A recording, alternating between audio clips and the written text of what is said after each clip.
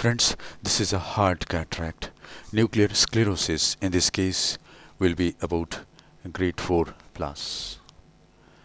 And in this case, I am going to employ my submarine chop technique.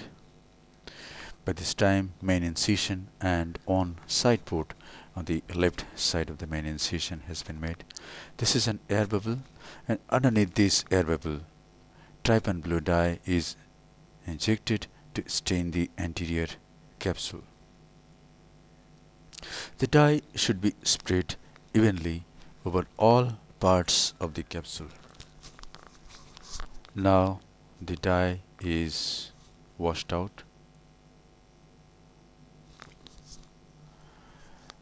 and then viscoelastic substance is injected into the anterior chamber.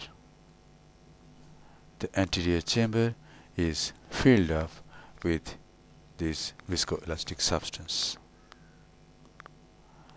And now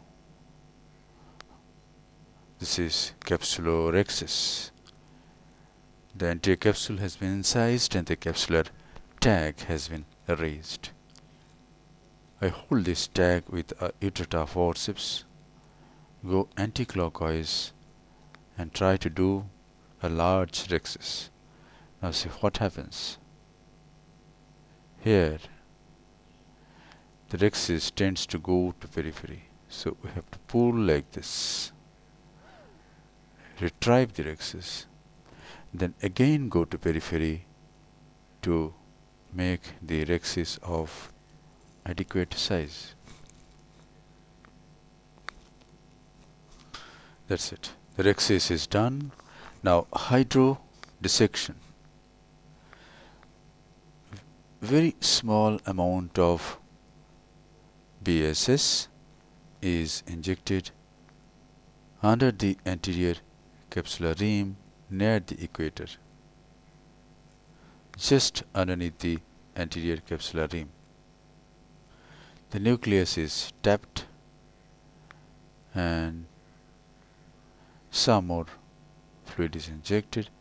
Nucleus is tapped and the nucleus is mobilized. Again, viscoelastic substance is injected And now is the time to introduce the tip of the phaco handpiece.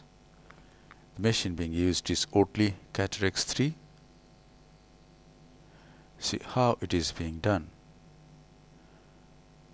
Go bevel down, remove some superficial cortical matter and this will improve visibility. Now rotate the phaco tip. Use the chopper to push the nucleus little down and now go into the substance of the nucleus bury the tip completely and travel through the substance of the nucleus as a submarine moves underwater and as you reach near the opposite equator use the chopper to divide the nucleus rotate it 180 degree and divide the nucleus totally into two heminuclei now each heminucleus is again chopped. Here it is. Again the tip is buried completely and the nucleus is chopped. Now each fragment is worked on with ultrasonic energy and it is emulsified and removed. Now this is the other heminucleus. Again the tip is totally buried the piece is held very firmly and it is chopped now each big nuclear piece is tilted and it is hidden off starting from its apex. Because apex is quite sharp and pointed in such cases.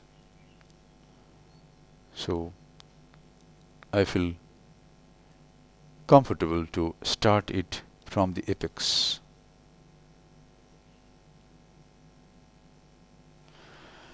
And now this is the last portion of the nucleus.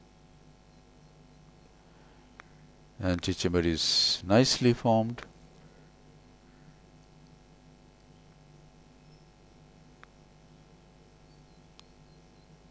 That's it. This portion of the surgery is not edited. You have seen the total management of the nucleus.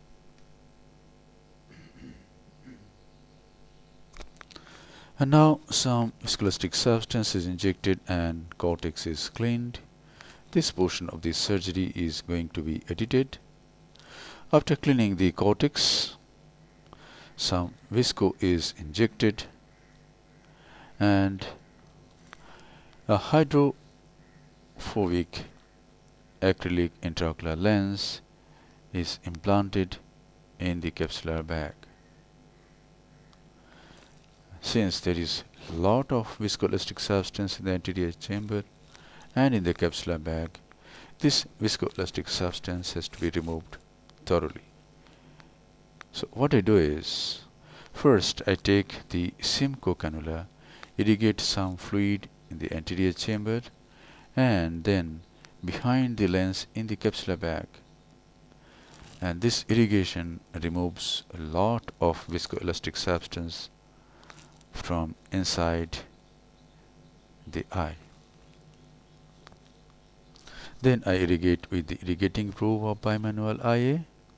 Then hydrate the side ports and this is the final lavage of the anterior chamber. After final lavage, the anterior chamber is formed like this and the case is concluded. Thank you very much for your attention.